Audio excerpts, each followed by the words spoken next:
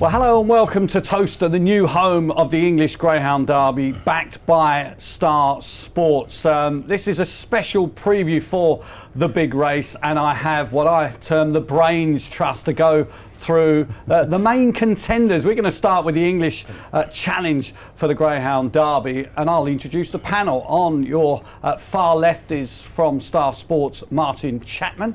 Uh, we've got leading trainer Kevin Hutton, and next door to me uh, is Ian Fortune, friend and colleague for many, many years, Irish Greyhound journalist, uh, of course. So, Ian, we'll we'll we'll leave you for this section. We'll maybe drag you in towards the end of it, but we're going to kick off with the the main English challenges uh, for the Classic. Going to start with you, Martin. In terms of the betting, where are we at?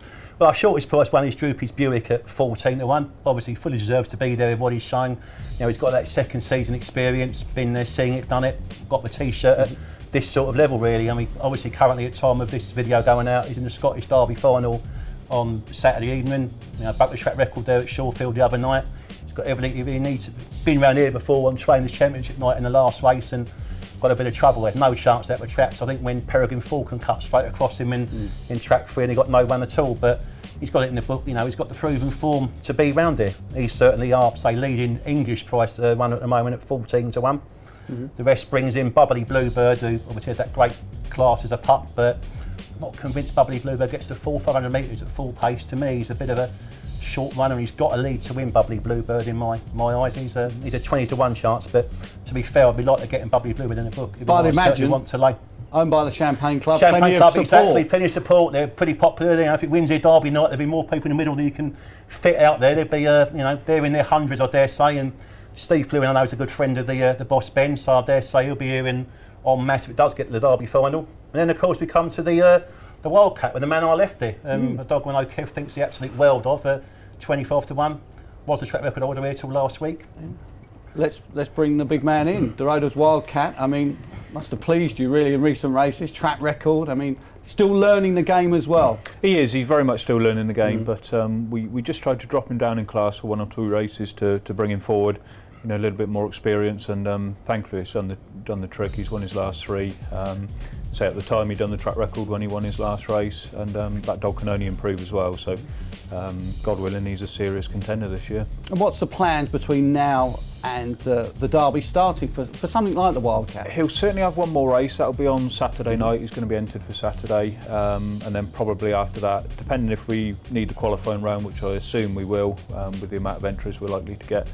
Um, probably just be one more trial in between, and, and obviously his work at home, and that'll that'll see him about right. Now, I just want to get your thoughts on uh, the likes of Droopy's Buick. Um, you were in that race, Trainers Championship. Mm. Peregrine Falcon won, Velvet Blaze, your greyhound was second, uh, Buick in third. Taking a step back, um, you're obviously impressed, as we all are, by the greyhound of the year. What's your feelings about him going into the Derby? I think he's he's got to be one of the best English contenders, hasn't he? Mm-hmm. I mean, uh, fabulous year last year, obviously. Um, I mean, Trainers Championship, night, you can put a line through that. You know, he didn't get any sort of a run, um, but I actually thought he ran well. Once once he got clear, he ran well to finish third.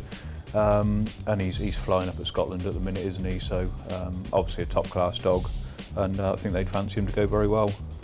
And in terms of your own challenge, you will have how many entries? We're think? hoping to have a team of five. Um, Dorotas Dalmar, he doesn't look suited to the 500 uh, metres mm -hmm. here, so he'll he won't be in the team anymore. But um, Velvet Blazers are definite. He loves it around here. He's got some good form. Um, we're hoping to have Empress Katie back from injury in time, uh, Harachi Scotty as well. So um, yeah, there's a good little team there, but obviously headed by the by the Wildcat dog. Okay, and we just bring in Ian for this. I mean, you've you've had a chance to see some of the trial stakes, of course, and, and concentrating just on the English Challenge, the likes of Buick, the likes of Bluebird. Anything catching your eye? Yeah, I like him. And I think a lot of people in Ireland mm. like him. Um, mm -hmm. What he did to good news in the semi-final of Scottish Derby, not too many dogs do that. Mm. Um, I think when we're looking at the English Challenge, sorry, the home challenge, um, we're we're fearing the upcoming dog rather than the likes of Buick. We know what he's capable of. Yeah. There's obviously huge talent there.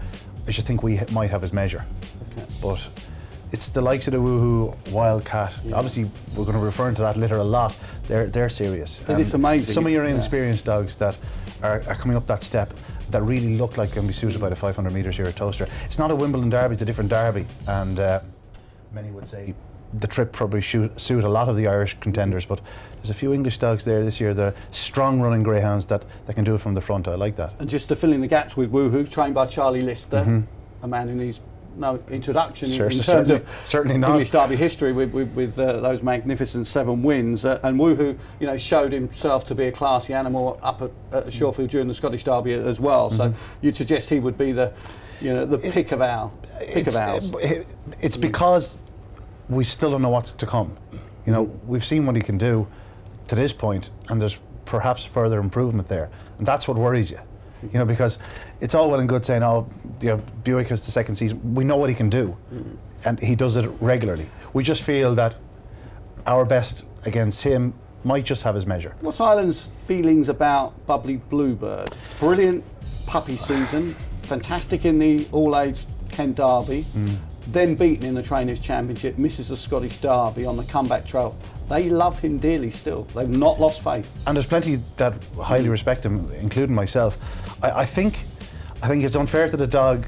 He was actually a little bit overhyped. Um, we liked him, just people were sort of almost waiting for him to be knocked down because of the hype.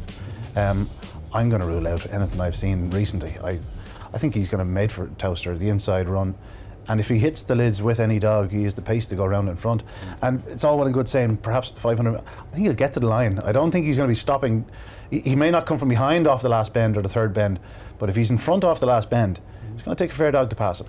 Well, I think we'll just leave it there for, for the minute. Of course, that's the English Derby Challenge. We'll, we'll talk generally about uh, the type of ground that's going to be required to win here at Towcester. But um, for the meantime, thanks to the guys.